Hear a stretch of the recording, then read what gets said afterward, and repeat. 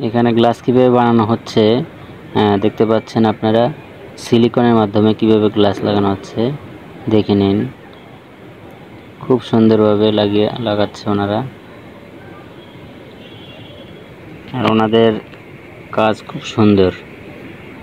এক গ্লাসের উপর এক গ্লাস রেখে কীভাবে মাছের অ্যাকুরিয়ামও বানায় কিংবা জিনিসপত্র রাখার জন্য বানায়। আর আপনারা দেখে শিখতে পারেন সিলিকন কীভাবে কাজে লাগানো যায় এবং সিলিকনের মাধ্যমে গ্লাস খুব কঠিনভাবে লেগে যায়, দেখুন। এই যে সিলিকন বের হচ্ছে।